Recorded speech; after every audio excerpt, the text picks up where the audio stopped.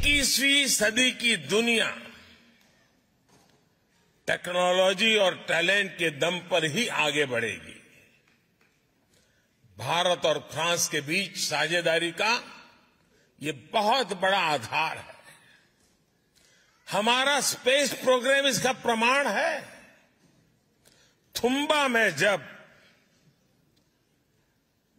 साउडिंग rocket station के निर्माण की बात आई तो फ्रांस ही था जो मदद के लिए आगे आया। उसके बाद से हम दोनों देशों ने स्पेस सेक्टर में बहुत लंबा सफ़र तय किया है। आज हम एक दूसरे के सैटेलाइट्स लॉन्च कर रहे हैं। और आपको खुशी होगी। अभी जब मैं आपसे बात कर रहा हूँ तो भारत में चंद्रयान थ्री की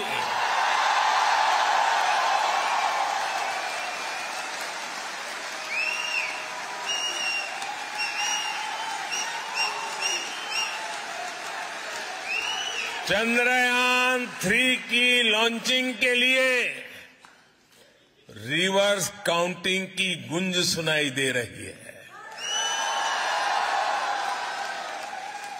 कुछ ही घंटों बाद भारत के श्रीहरिकोटा से ये ऐतिहासिक लॉन्च होने जा रहा।